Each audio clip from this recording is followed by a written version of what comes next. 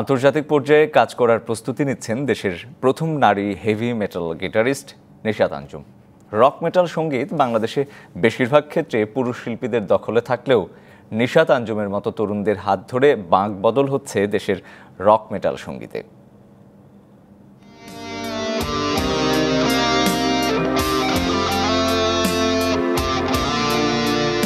বাংলাদেশের rock music অঙ্গনে শুধু পুরুষরাই রাজত্ব করেছেন দীর্ঘ সময়। তবে সময়ের সাথে সাথে এগিয়ে এসেছেন নারীরাও।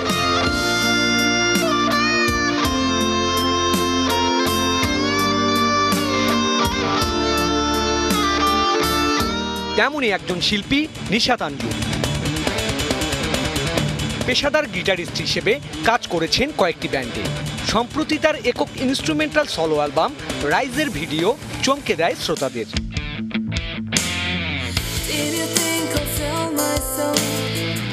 বাংলাদেশের প্রথম নারী হেভি মেটাল গিটারিস্টের বাদন আলোড়ন তুলেছে সামাজিক যোগাযোগ মাধ্যমের বিভিন্ন প্ল্যাটফর্মে ডিবিসি নিউজের সাথে আলাপচারিতায় উঠে আসে নানা প্রতিকূলতা পার হয়ে এগিয়ে চলার গল্প।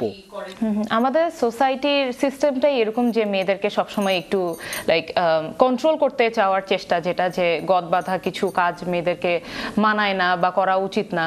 তো এই ট্যাবুটা আসলে ভাঙা উচিত অ্যান্ড ফ্যামিলি সাপোর্টে না থাকলেও ফার্স্টে নিজে নিজে ট্রাই করতে হবে আর ভেঙে পড়লে চলবে না।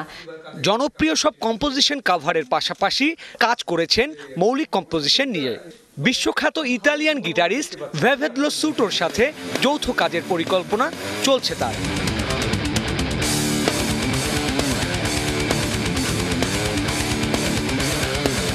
তরুণ এই শিল্পী স্বপ্ন দেখছেন আন্তর্জাতিক পর্যায়ে বাংলাদেশের প্রতিনিধিত্ব করার।